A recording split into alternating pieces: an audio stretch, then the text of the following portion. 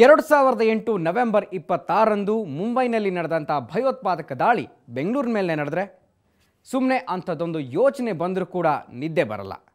ಅಂಥ ರೀತಿಯ terrorist attack ಈ ನೆಮ್ಮದಿಯ ಊರಿನಲ್ಲಿ ಆಗದೇ ಇರಲಿ ಅಂತ ಹಾರೈಸೋದು ಬೇರೆ. ಅಕಸ್ಮಾತ್ ಆದರೆ ಅದನ್ನು ಎದುರಿಸೋದಕ್ಕೆ ಇವತ್ತಿನಿಂದಲೇ ತಯಾರಾಗೋದು ಬೇರೆ. ಅದಕ್ಕೆ ಅಂತಾನೆ ಒಂದು ಸ್ಪೆಷಲ್ ಟೀಮ್ ತಯಾರಾಗ್ತಾ ಇದೆ. ಅವರ ತರಬೇತಿ ಬಗೆಗಿನ ಈ ವಿಶೇಷ ಕಾರ್ಯಕ್ರಮವೇ ಡೋಂಟ್ ವರಿ ನಾವಿದ್ದೇವೆ. ನಾನು ಗುರುಪ್ರಸಾದ್.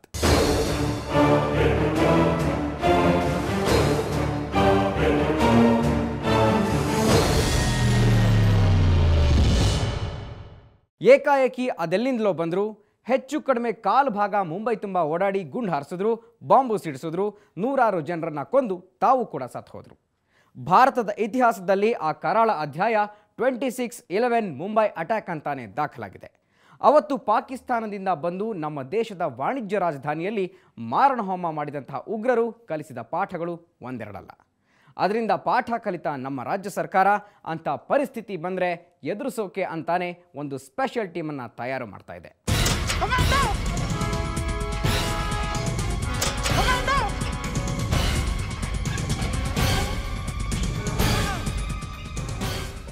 ಬಾಂಬೆನಲ್ಲಿ ಇಪ್ಪತ್ತಾರು, ಹನ್ನೊಂದು, ಎರಡು ಸಾವಿರದ ಎಂಟರಲ್ಲಿ ನಡೆದ ಘಟನೆ ಅನ್ನು ನಾವು ನೋಡಬೇಕಾಗಿರೋ ಪರಿಸ್ಥಿತಿ ಬಂದಿದೆ.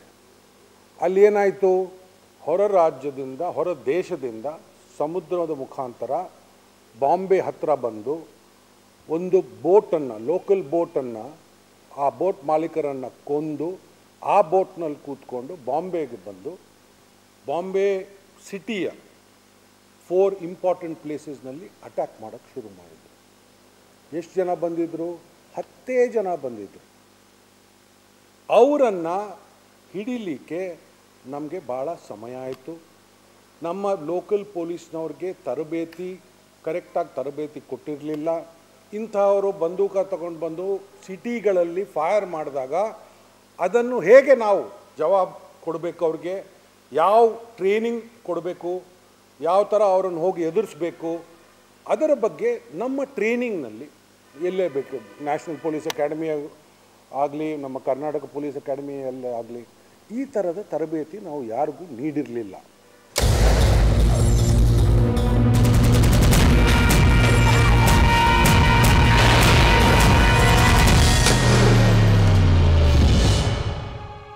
ಅವತ್ತು ಮುಂಬೈನಲ್ಲಿ ಅದೆಂಥ ಹಾಹಾಕಾರ ಎದ್ದಿತ್ತು ಅನ್ನೋದು ನಿಮಗೆ ನೆನಪಿದೆಯೋ ಇಲ್ಲವೋ? ಒಂದು ಕಡೆ ಹತ್ತೆ ಹತ್ತು ಜನ ಟೆರರಿಸ್ಟ್ಗಳು ಈ ಮಹಾನಗರಿ ತಮ್ಮಪ್ಪನ ಮನೆ ಜಾಗಿರೇನೋ ಅನ್ನೋ ಹಾಗೆ ಹಾವಳಿ ಇಟ್ಟಿದ್ರು. ಇನ್ನೊಂದು ಕಡೆ ಪೊಲೀಸರು ಇದ್ದ ಬದ್ದ ಬಂದೂಕುಗಳನ್ನೆಲ್ಲ ಹಿಡಿದುಕೊಂಡು ಬೀದಿಗಿಳಿದಿದ್ರು. ಆದರೆ ಏನು ಮಾಡಬೇಕು ಅನ್ನೋದೇ ಗೊತ್ತಾಗ್ತಿಲ್ಲ. ಇನ್ಸ್ಪೆಕ್ಟರ್ಗಳು ಎಸಿಪಿಗಳು ಕೊನೆಗೆ ಪೊಲೀಸ್ ಕಮಿಷನರ್ನು ಬಿಡದೆ ಸಾಲು ಸಾಲು ಖಾಕಿಗಳನ್ನು ಕೊಂದು ಹಾಕಿದ ಉಗ್ರರು ದಾಂಗುಡಿ ಇಡ್ತಿದ್ರೆ ಅಷ್ಟು ದೊಡ್ಡ ಊರಿನ ಅಷ್ಟೂ ಪೊಲೀಸ್. ಆಫ್ಟರ್ ಆಲ್, ಹತ್ತು ಜನ ಟೆರರಿಸ್ಟ್ಗಳೆದುರಿಗೆ ಮೊಣಕಾಲೂರಿ ಕುಳಿತುಬಿಟ್ರು. ಅವರನ್ನೆದುರಿಸಲು ಎನ್ ಎಸ್ ಜಿ ಬರಬೇಕಿತ್ತು. ಅದು ಬಂದದ್ದು ಅನಾ ಮತ್ತು ಒಂಬತ್ತು ತಾಸುಗಳ ನಂತರ. ಅಷ್ಟರಲ್ಲಿ ಆಗಬಾರದ ಅನಾಹುತ ಆಗಿ ಹೋಗಿತ್ತು. ಆಗಲೇ ದೇಶಕ್ಕೆ ದೇಶನೇ ಎಚ್ಚೆತ್ತುಕೊಂಡು ಎಲ್ಲ ದೊಡ್ಡ ಸಿಟಿಗಳಲ್ಲೂ ಎನ್ ಎಸ್ ಜಿ ಅಂತ ಒಂದೊಂದು ಪಡೆ ಇರಬೇಕು ಅಂತ ಮಾತನಾಡೋದಕ್ಕೆ ಶುರು ಮಾಡಿದ್ದು. ಕರ್ನಾಟಕ ಕೂಡ ಅದಕ್ಕೆ ಹೊರತಾಗಿರಲಿಲ್ಲ. ಅದರ ಪರಿಣಾಮವೇ ಸೆಂಟರ್ ಫಾರ್ ಕೌಂಟರ್ ಟೆರರಿಸಂ.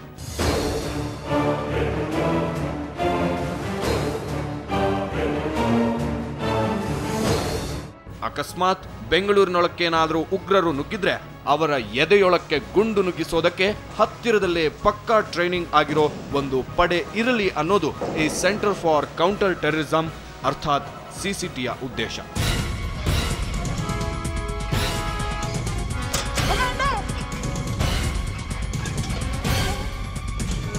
ಅಂಥದ್ದೊಂದು ಪಡೆ ಸ್ಥಾಪಿಸಿದ್ರೆ ಅದರಲ್ಲಿನ ಯೋಧರಿಗೆ ಟ್ರೈನಿಂಗ್ ಕೊಡಬೇಕಲ್ಲ. ಅದಕ್ಯಾರಾದರೂ ಬೇಕು ಅಂತ ನಮ್ಮ ಸರ್ಕಾರ ಕೇಂದ್ರಕ್ಕೊಂದು ಪತ್ರ ಬರೆಯಿತು.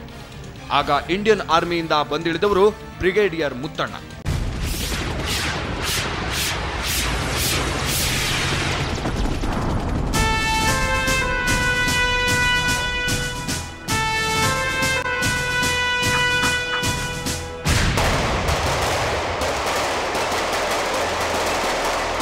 Brigadier K A Muthanna ಮೂಲತಃ ಕೊಡಗಿನ ಕಲಿ.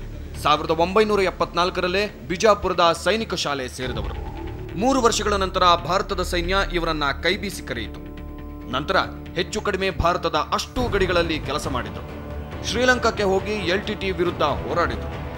ವಾಪಸ್ ಬಂದು ಜಮ್ಮು ಕಾಶ್ಮೀರದಲ್ಲಿ ಉಗ್ರರ ವಿರುದ್ಧ ಬಂದೂಕೆತ್ತಿದರು ಎದೆಯ ಮೇಲೆ ಸೇನಾ ಪದಕ ರಾರಾಜಿಸಿತು.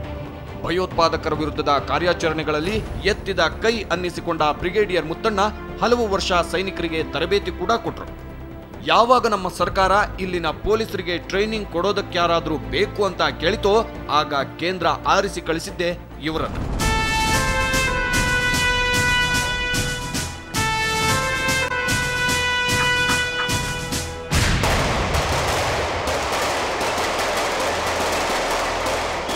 ಇಂಥ ಟ್ರೈನಿಂಗ್ಗಳಲ್ಲಿ ಭಾಷೆ ತುಂಬಾ ಮುಖ್ಯ ನೋಡಿ. ಅದಕ್ಕೆ ಕರ್ನಾಟಕದ ಪಡೆಗಳಿಗೆ ಕನ್ನಡದ ಬ್ರಿಗೇಡಿಯರನ್ನ ಕಳಿಸಲಾಯಿತೋ ಏನೋ. ಇನ್ನು ಇವರ ಜೊತೆ ಕೋಆರ್ಡಿನೇಟ್ ಮಾಡೋದಕ್ಕೆ ನಮ್ಮ ಸರ್ಕಾರ ನೇಮಿಸಿದ್ದು ಐಪಿಎಸ್ ಅಧಿಕಾರಿ ರಾಮಕೃಷ್ಣ ಪ್ರಸಾದ್ ಅವರನ್ನು.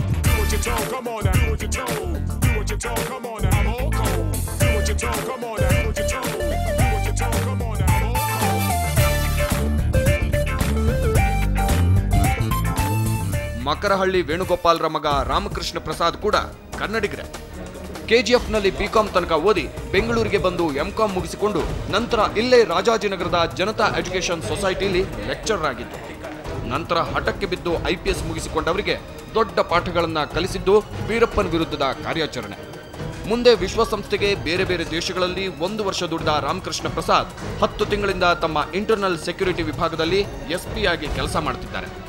ರಾಜ್ಯದಲ್ಲಿ ಭಯೋತ್ಪಾದಕ ವಿರೋಧಿ ಪಡೆ ಕಟ್ಟೋದಕ್ಕೆ ಬ್ರಿಗೇಡಿಯರ್ ಮುತ್ತಣ್ಣನವರನ್ನ ಕರೆಸಿಕೊಂಡ ಸರ್ಕಾರ ಅವರ ಜೊತೆಗೆ ಎಸ್ಪಿ ರಾಮಕೃಷ್ಣ ಪ್ರಸಾದ್ರನ್ನ ನೇಮಿಸಿತು. ಹಾಗೆ ನೇಮಕಗೊಂಡ ಈ ಇಬ್ಬರು ಹಿರಿಯ ಅಧಿಕಾರಿಗಳ ಎದುರಿಗಿದ್ದ ಚಾಲೆಂಜ್ ಏನು ಸಣ್ಣದಾಗಿರಲಿಲ್ಲ.